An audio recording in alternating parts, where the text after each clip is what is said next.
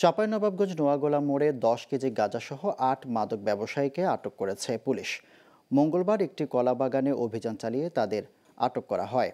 এক প্রেস ব্রিফিংয়ে এ তথ্য নিশ্চিত করেন সদর মডেল থানার অফিসার ইনচার্জ মিন্টু রহমান। তিনি জানান, কুমিল্লা থেকে একটি বড় মাদকের চালান বিক্রির জন্য চাঁপাইনবাবগঞ্জ আনা হচ্ছে। গোপনে এমন খবর পান পুলিশ কর্মকর্তারা।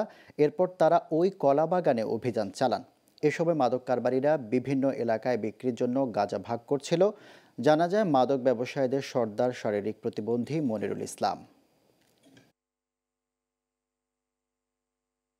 পুলিশ সুপার জনাব সাইদুল হাসান পিপিএম স্যারের সরাসরি নেতৃত্বে, সবাই মিলে আমরা তারা ওখানে একটা অভিযান পরিচালনা করে পরিচালনা করে তাদেরকে ধৃত করে ওই কলবাগান থেকে এবং তাদের হেফাজত থেকে এই উদ্ধার করে।